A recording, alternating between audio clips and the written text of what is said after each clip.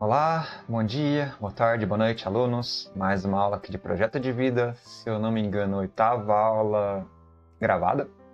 Talvez eu esteja enganado, eu não lembro. É Jefferson, seu professor.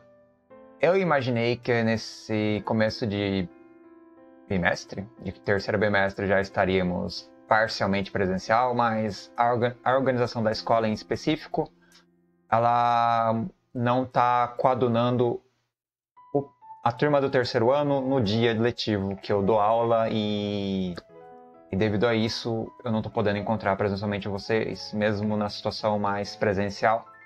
Então eu continuo com as videoaulas, só que aí tem o um pequeno problema que eu até comentei já no Google Sala de Aula, que como eu estou 100% presencial, meu tempo explodiu e eu também estou 100% online, mas o online não, tá dando, não tô dando conta. Assim, não tem como fazer as atividades, corrigir todas as atividades de todas as turmas.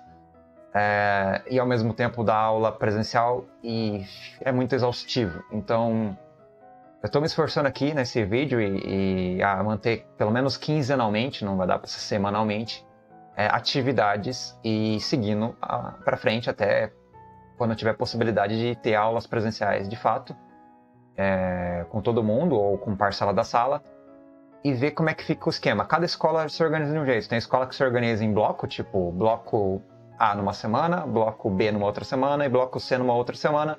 Aí volta o bloco A. Então, mesmo que seja só uma aula tipo quase que por mês, dá para dar a mesma aula para cada bloco. Agora, se por exemplo tiver só os que vão presencial e os que ficam puramente remoto e não tem bloco, quer dizer que eu não vou ver alguns alunos. Então eu sou meio que convidado, e eu acho bom mesmo que eu dê aula online, ou seja, faça videoaulas para as pessoas que estão ainda, é, no caso não presencial, né, que ainda estão em estudo remoto. Então, devido a essa circunstância, eu não consigo dar aula direito remoto porque, sério, é...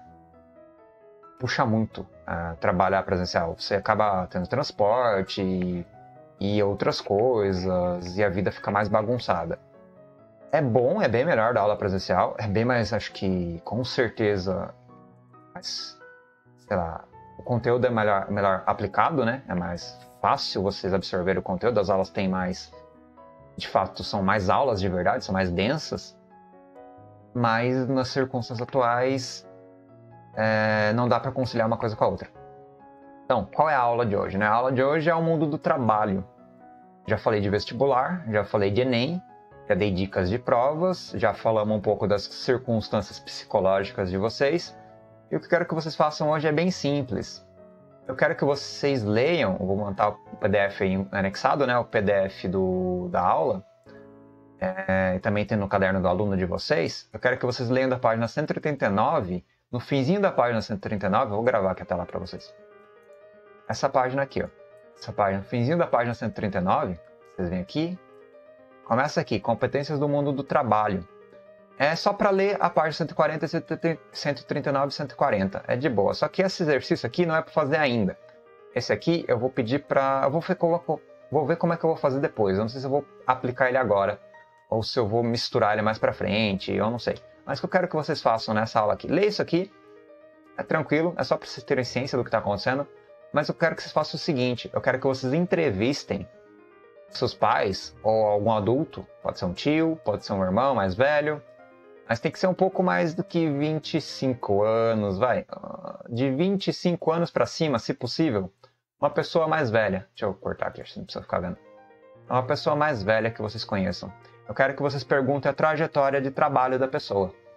Pode ser um amigo seu conhecido mais velho, pode ser um parente, eu acho que é legal também, você pode entrevistar outros professores que você tem afinidade. É uma entrevista, assim, ou, ou colegas, enfim, qualquer tipo de pessoa com quem você tenha alguma relação social, próxima, né? Tipo, amigo ou mais do que isso. Para você conseguir fluir com a conversa, você não ficar muito é, com vergonha. E para você conseguir conversar mesmo. Eu quero que vocês entrevistem um adulto e perguntem o seguinte: é bem simples. É, qual a trajetória profissional sua? Qual o primeiro trabalho, como é que foi, o segundo trabalho, o terceiro trabalho, no que você trabalhou até agora, todos os trabalhos que você fez até agora, como você ganha dinheiro. E quais e como era cada um, assim, como é que foi a dificuldade, por que, que você saiu do trabalho, se é que saiu do trabalho, Se está no mesmo trabalho até agora, fala um pouco de como é o dia a dia, os anos de trabalho, quais as dificuldades, facilidades, é, como é que é o patrão, se tem um patrão, é, se você é um empresário ou dono de uma loja, ou, por exemplo, um autônomo, como é que funciona a sua renda, qual a média de renda, qual a dignidade de vida, quantas horas por dia você trabalha, que hora você acorda, quando você chega em casa, quantas horas de transporte você tem por dia, é, dá para comprar as coisas, você consegue economizar dinheiro. Exatamente, esse é o roteiro das perguntas. É importante que vocês estejam vendo esse vídeo porque é bom você perguntar todas essas coisas, para você entender a realidade da pessoa junto ao trabalho que ela tem. Então, é importante perguntar quando ela acorda, o horário que ela entra no trabalho, o horário que ela sai, a renda média, é, se consegue ou não pagar as contas, ou se consegue ter poupança ou reservas financeiras, é, as relações a, sentimentais, afetivas, se se sente depressiva, se gosta do trabalho ou não gosta, se o trabalho é muito estressante, os amigos do trabalho são legais, é, é um ambiente de trabalho é bom, é positivo ou não. É tipo uma conversa sobre esse universo e anotem tudo que eu falei até aqui de perguntas. É importante ser uma, uma conversa bem, bem densa, onde você tenha bastante informação em relação ao percurso de vida em relação ao mundo do trabalho dessa pessoa. Se for uma pessoa, por exemplo, com 50 anos, que já passou por 10 empregos, vocês podem perguntar de menos empregos, dos que elas mais gostou, do primeiro e do último, talvez, o atual. Se for um aposentado, você pergunta também, sei lá, algo, não precisa ser toda a trajetória de vida, porque se for uma pessoa muito velha, não dá, né? Ela falar da história inteira de todos os trabalhos que ela teve, de todo o percurso, é muita coisa. Então foca em um outro trabalho, como é que era, é uma conversa que vocês devem anotar essa conversa. É, não sei se você anota. Bom, como é atividade, bem, eu não quero que vocês tenham um relatório, não é entregar o relatório. O importante é fazer a entrevista. Então, deixem aberto para vocês. Vocês me entregam o que vocês conseguirem é, sintetizar. Uma síntese, tipo, o, um pseudônimo da pessoa, não precisa identificar a pessoa, pode ser um pseudônimo, uh, o trabalho que ela tinha, porque o trabalho é importante ser o trabalho mesmo. E vocês descrevem como é que era uh, mais ou menos a rotina da pessoa no decorrer da vida dela, ou do trabalho dela, né?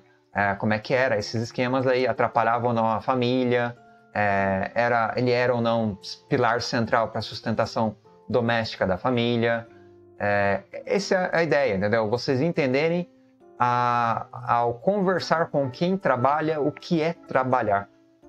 E pode ser qualquer trabalho, pode ser um padeiro, pode ser um pedreiro, um mecânico, alguém que tem diploma, um dentista, um médico, um professor, como eu falei, pode entrevistar outros professores que têm uma disponibilidade ali para responder essas perguntas. Então o roteiro vai ser mais ou menos esse. Quando eu elaborar é, a, no Google Sala de Aula, o, a, a questão, né, enunciado da questão, eu coloco mais ou menos essas perguntas mais organizadas. Então vocês leem esse enunciado vocês vão ter meio que o roteiro de perguntas possíveis. E outras perguntas que vocês também podem criar, porque eu não estou limitando, não. Vocês podem pensar em outros tipos de perguntas é, em relação. A, porque tem trabalho específico, né? É, por exemplo, você vai trabalhar, vai conversar com um policial ou com um, sei lá, com uma pessoa que trabalha de, de motorista de ônibus. São completamente diferentes contextos de trabalho. A vida é diferente, as rotinas são diferentes. Então, a conversa possibilita se ela estiver fluindo, não é uma conversa tipo entrevista, é uma conversa para para fluir mesmo, para deixar a pessoa falar as experiências dela. Não é uma conversa tipo com um horário marcado, começa meio-dia e termina meio-dia e meio. Se possível e se der certo, e se a pessoa for próxima de você e você conseguir ter esse contato, uma conversa de, sei lá, se tiver essa disponibilidade de tempo também, né? Tanto a pessoa quanto você.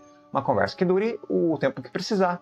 Pode ser uma hora, pode ser duas, pode ser entrecortada em vários dias. Como é uma tarefa quinzenal, de entrega quinzenal, então vocês têm 15 dias, vocês podem conversar com a pessoa por WhatsApp, por e-mail, por áudio, por presencialmente. Então, é um levantamento de dados lento, não precisa ser um levantamento é, rápido, não precisa ser tudo imediato. Então, vocês podem é, levar estrategicamente essa entrevista como uma conversa. Mas lembrando que vocês podem falar para o pessoal: isso aqui é uma atividade do professor, é para a escola, é uma atividade para mim entender o mundo do trabalho entrevistando uma pessoa que está no mundo de trabalho, que tem uma experiência, uma carreira, ou que está de um modo ou de outro inserido dentro do, da sua rotina é, o trabalho que ela tem, né? A, a vida que ela precisa seguir, né? As regras. É isso, entendeu? É bem isso. E se vocês estão trabalhando, vocês também podem uh, relatar a sua experiência pessoal de vida, de trabalho. Logicamente que vocês têm 18 anos no máximo, 19 no máximo, talvez 20, digamos. Então a sua experiência é bem menor. Como eu falei, eu queria uma experiência de alguém com mais de 25, primordialmente, talvez, preferencialmente. Mas vocês também podem falar da sua experiência, se quiserem. No entanto, eu ainda recomendo que seja uma entrevista de alguém com mais de 25 anos e que tenha trabalhado. Vocês vão entrevistar alguém que nunca trabalhou na vida também não dá, porque daí é quebra as pernas de vocês, né? Vocês vão entrevistar alguém que só estuda? Não. Não vai entrevistar um universitário com 26 anos, porque ele não vai ter trabalhado. Digamos que ele só ficou na faculdade e nunca trabalhou. Então, eu quero alguém que tenha trabalhado, entendeu? É, então você já tem um objeto de, de, de, de, de digamos, para você retirar os dados, você investigar os dados relativos à questão, e a questão é o mundo do trabalho e a pessoa que trabalha, tem uma delimitação ali. Você precisa de alguém que trabalhe e com uma certa idade, com alguma experiência. Então, essa é a ideia dessa atividade. É uma atividade prática. Sei que também pandemia, então pode fazer com certeza por texto, por longa distância, sem problema nenhum. Mas idealmente pode fazer com a família, pai, mãe, claro. É mais fácil ainda, porque mora dentro da casa. Ou parente também, que é legal também. Mas idealmente com uma densidade, uma conversa assim que não tenha medo de, de, sei lá, uma reportagem. Sabe quando você faz uma boa entrevista, mas como é uma entrevista entre conhecidos, não precisa ter esse, essa, não é truncado, não é travado. Pode fluir muito bem. E você não precisa fazer todas as perguntas, você pode pegar apenas o essencial, assim, é, pode virar uma conversa, um debate, uma conversa opinativa. Não precisa ser um negócio tipo, eu estou aqui, você está ali, eu faço a pergunta, você me responde. Não, você pode ir lá conversar com a pessoa. É, a pessoa pode perguntar coisa para você, você pode responder. Então não é uma coisa de uma via de mão única, é uma via de mão dupla. É para vocês conversarem com alguém que trabalha, entendeu? Então não é tão truncado assim. Mas a ideia geral é essa. Leiam o questionário o enunciado lá, e vai estar mais organizado. As perguntas gerais, é, orientações de perguntas não são obrigatórias e também não são limites. Pode fazer mais perguntas do que as que eu disser. E é, pode ser um pouco trabalhoso, mas é no sentido de dar trabalho fazer esse tipo de investigação. Mas é um ponto de partida para vocês entenderem através da conversa e da vivência com uma pessoa que está inserida nessa situação, o como essa situação se manifesta, o como ela se apresenta. Então é isso. Então, obrigado por virem, pessoas, alunos, e até uma próxima aula. E perdão por não poder ser presencial, porque não deu certo, né, por enquanto. Mas quando der, a gente se encontra. E é isso aí. Até mais. É, no enunciado vai estar certinho as coisas, tá? Então é isso aí. Falou, pessoal.